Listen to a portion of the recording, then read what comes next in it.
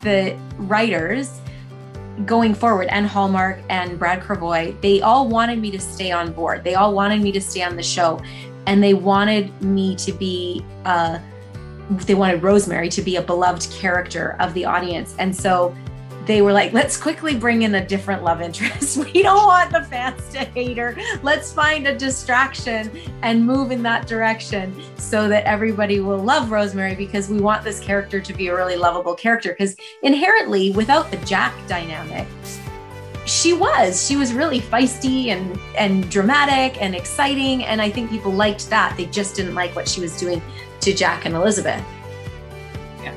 i we didn't were- like it either guys I still laugh when when he drew the mustache on Elizabeth's picture. I still I still that laugh was at that. snarky I know. I was like, Rosemary. Rosemary.